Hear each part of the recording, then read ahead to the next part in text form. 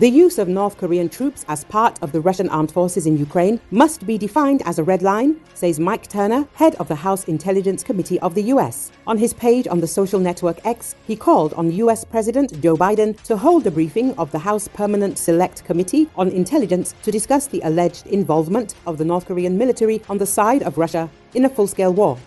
I sent a letter to President Biden demanding that his administration provide answers and that the use of North Korean troops against Ukraine become a red line for the United States and NATO. The publication says Turner also noted that the Biden administration has not briefed officials on any US or Pentagon intelligence assessments of North Korean troops' movements, although he said South Korean and Ukrainian intelligence agencies are already detailing those processes, including the movement of North Korean troops on Russian ships. In a letter to Biden, he clarified that the United States must show an immediate response to North Korea's actions, as must NATO allies, to avoid an escalation of the war. The deepening military ties between Russia and North Korea have earned condemnation from the United States, South Korea, and Japan. The three countries announced a new team to monitor arms sanctions on North Korea. The United States has expressed concern over reports of a North Korean military presence in Ukraine, but has not independently made the accusation against Pyongyang itself. General Charles Flynn, the U.S. Army's Asia Pacific commander, told an event in Washington that North Korean personnel being involved in the conflict would allow Pyongyang to get real time feedbacks on its weapons for the first time. This kind of feedback from a real battlefield to North Korea to be able to make adjustments to their weapons, their ammunition, their capabilities, and even their people, to me is very concerning, he said, speaking at the Center for a New American Security.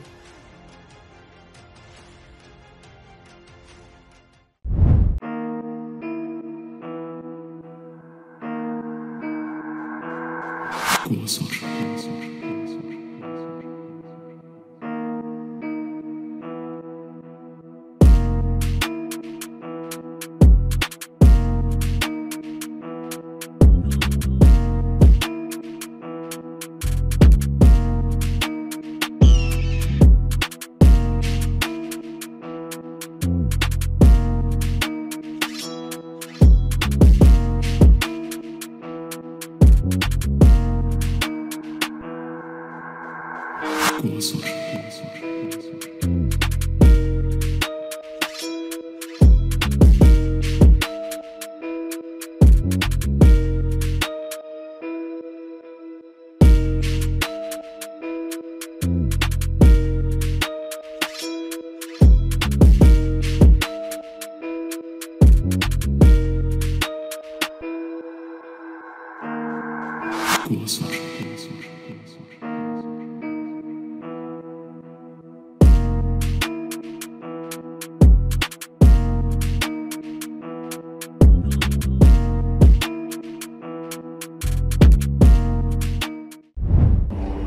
Special forces of Ukraine's main intelligence directorate have recaptured from Russian forces a key area, the village of Kruglyakhovka and its surrounding area, near Kupiansk city in the country's eastern Kharkiv region.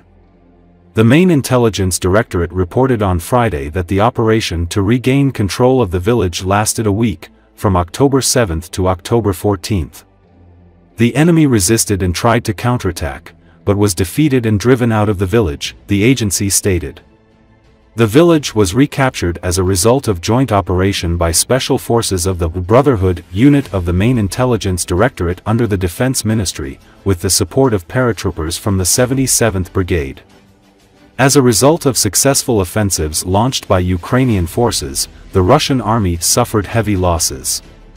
More than a platoon of Russian military personnel was killed and captured, according to the agency.